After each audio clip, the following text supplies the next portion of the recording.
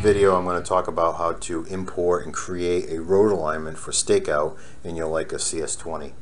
So one option would be, and some prefer this, is to go into the alignment editor, create a new alignment, and manually type in the design data. Once you've created the alignment manually, you come into the stake road and this app gives you lots of power for slopes and uh, different alignment, multiple alignments or different alignments. So uh, although this is a um, uh, very powerful program, I'm going to use the more simple uh, approach and show you how that works in Stake to Align. So when you're ready to import the data, we're going to come into import data and alignment.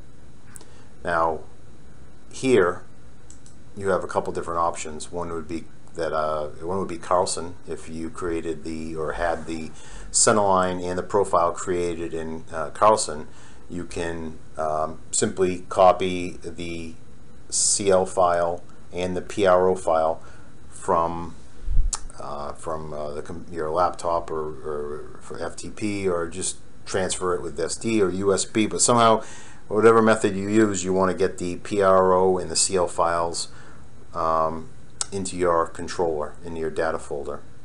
Uh, alternatively, you could do a land XML, which is basically um, yeah, also for Carlson if you want to use um, if you want to use uh, uh, multiple uh, centerline files and multiple profiles, you can do that method as well.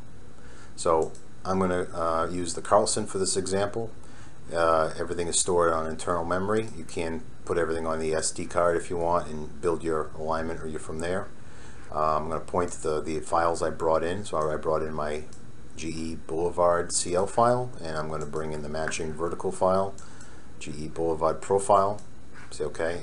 I'm not going to be using section files, but you do have the option of bringing in uh, section files, uh, which helps with uh, super elevated or um, uh, varying widths.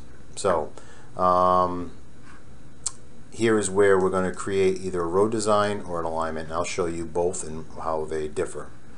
Um, and then here's the file that you're going to be creating. So in this example we're going to be doing a road design and I'm going to create a name. And just to be different I'm going to call that GE Boulevard test. And I'm going to store it to my internal memory and I'm going to link it to the current job.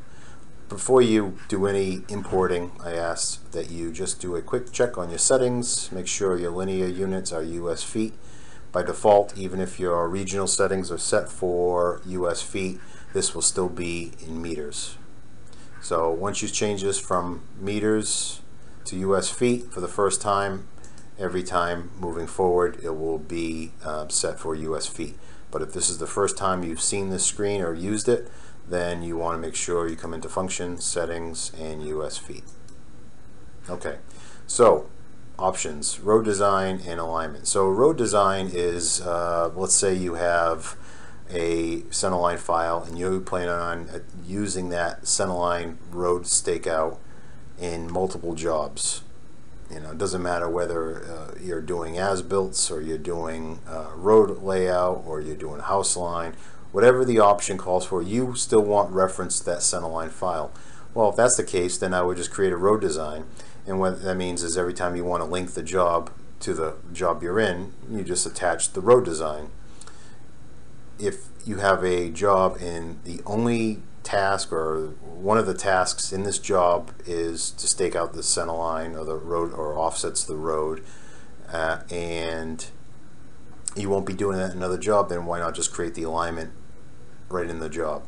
So this is kind of, you know, this is the, uh, uh, the initial, this has a lot more power to be transferred or copied from job to job, where this one is just in the current job only. So um, I'll show you both methods and how they work. So we're going to create a road design, GE Boulevard test, and we're going to say OK. So now we've imported uh, the lines and we've created our uh, um, road design you wish to import any more? No. So now we're going to come into stake to align. I'm going to go to line. We're going to go to uh, the line. When you hit the right arrow, you realize there is nothing there, but I can hit import. And then what I want to do is I want to change this to road design. And there's our GE Boulevard test. And this is basically the alignment that uh, was um, that was the centerline file I had brought in. Can't really rename that, but if I wanted to view it, here is my my my uh, alignment. Come back over here, say OK. It's been imported. Do you wish to import? No. Alright, so now when I come back to the final line where we said none before, now I have a line, uh, which is the uh, road alignment converted to, uh, sorry, is the road design converted to an alignment. So the other option we had earlier would just jump to this screen. It would already be imported. So now we're going to say OK. And if you come into function settings and use station terminology is on, then you will see stations here. If not, it's just distance along the line. So we can start anywhere. Say the job's already half over and you're starting at station 500. And say the road is 24 feet wide, but you're doing two foot offsets. So from the center line to the edge of road is 12, uh, plus maybe a two foot offset. So you're going to do a 14 foot offset. You have the option of doing a vertical offset as well. So if the uh, contractor is wishing for you to lay out centerline grades, then your offset height is zero. This is based on your profile.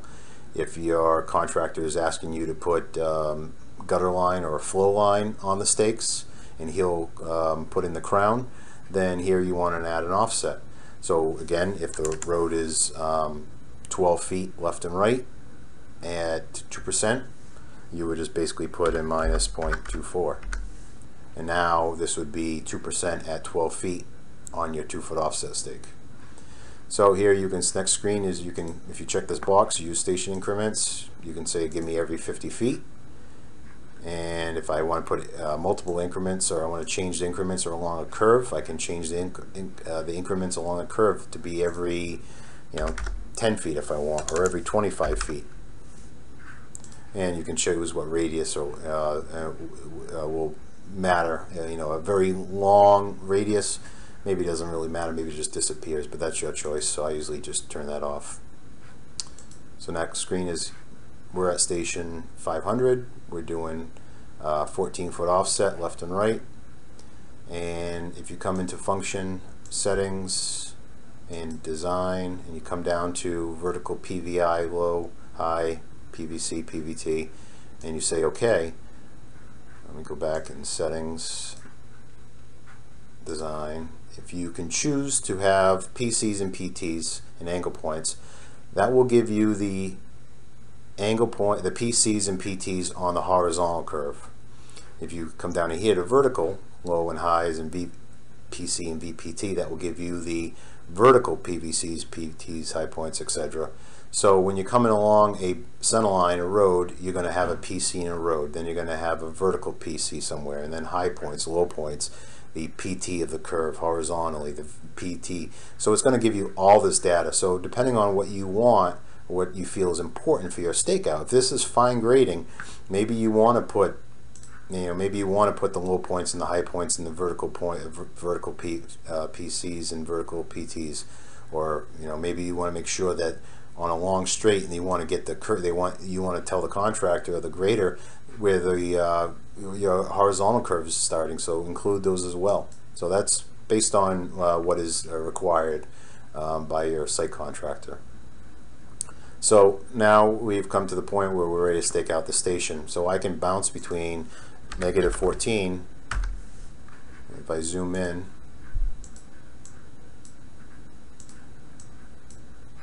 and if I change the offset to 14 it will jump between both sides of the road. So now I can if I hit if you remember the previous station I'm going to jump every 50 feet. So when I jumped 50 feet after the screen disappears I've jumped the next station is a PC in the center line so I have a PC at 5, uh, 5 plus 18 I can choose to stake out that PC if I want but now before I get to 50 plus 50 at 50 plus 37, I have a vertical PVC, a PC. And then next, now I'm at 5 plus 50. Next station, I'm at 6 plus 100. Now I'm at a low point. So you have these options of controlling where what is critical on your layout.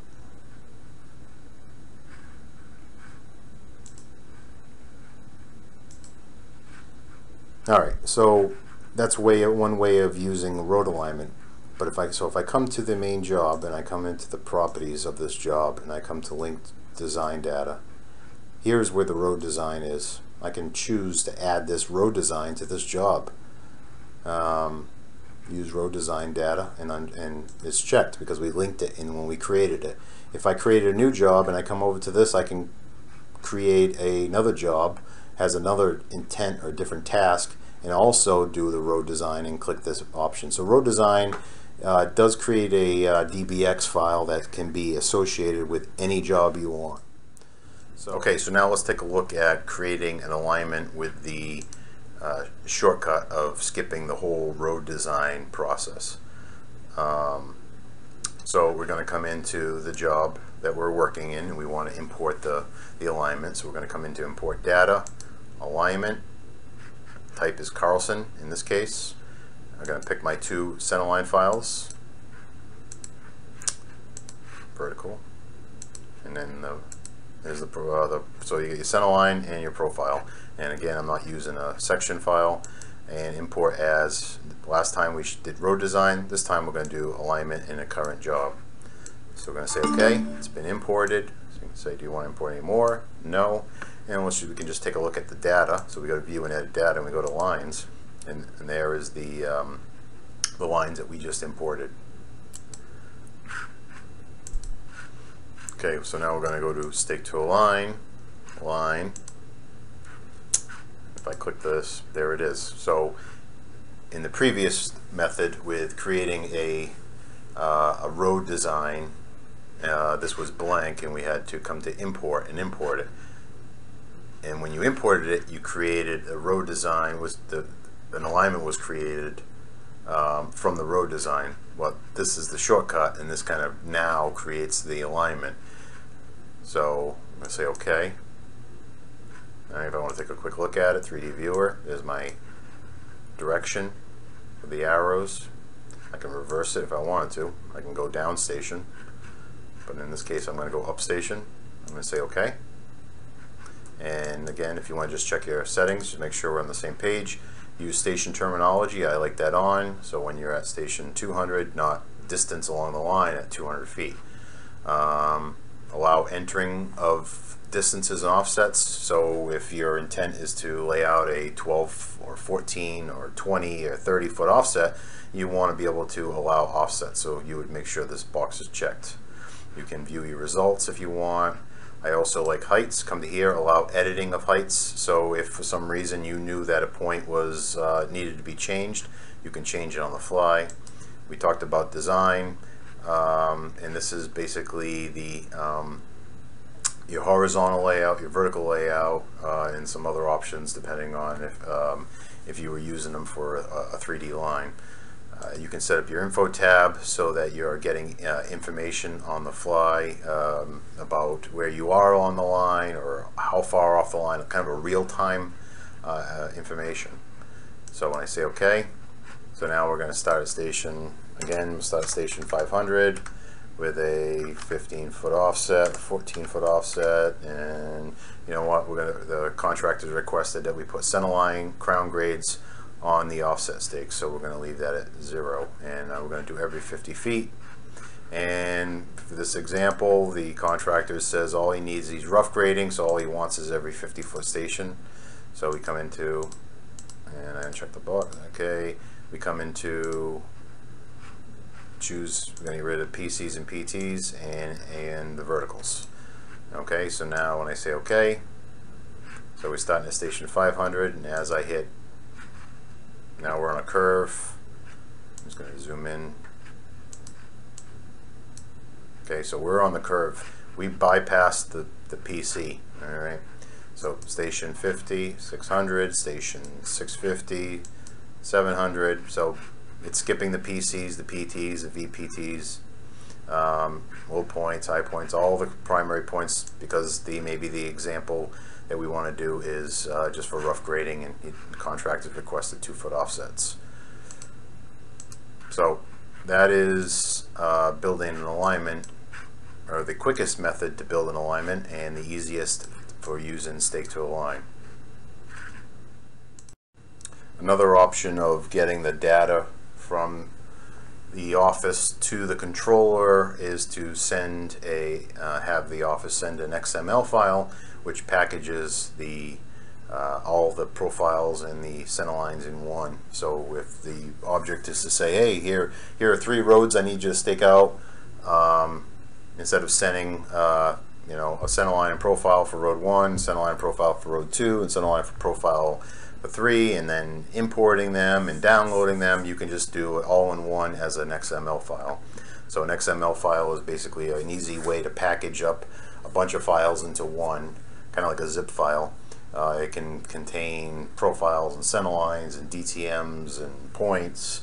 Uh, there's multiple options that can be done in CAD and exported and uh, Captivate will take that XML file. So let's take a look. So we're going to come into import data, again alignments. This time we're going to pick land XML from the options. I'm going to pick the file. This is my uh, XML file that I uh, imported uh, into the controller, or the, it's sitting in the data folder ready to be uh, imported into the job. So again, we're going to create an alignment uh, in the current job. So I'm going to say OK. there are three lines and say OK. And three lines were imported. So do you want to do any more? I'm going to say no. Let's just take a quick look. View and edit data. Go to lines. There, here are three streets with the profiles and their lengths and um, so we're going to say OK. We're going to go to stake to align. OK. And we can look at the 3D viewer. There's GE Boulevard. If we wanted to look at look at one more 3D viewer.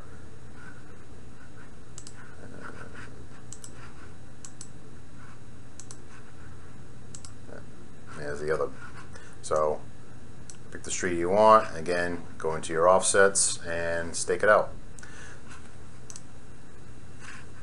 so that is alignments in a quick view as I said in the beginning of this video that I did not plan on touching the alignment editor and manually entering the field and stake to a road um, alignment editors for a user who's given a set of plans and wants to punch in all the all the vertical data and centerline horizontal data by hand. Um, I think the easier way is to get a CL file or profile from the uh, office or uh, used by uh, prepared by a CAD tech or somebody who who has um, created the uh, centerline and the uh, profile in CAD and transferred it to a usable file. So uh, like this video, uh, and uh, subscribe to my site. Thanks.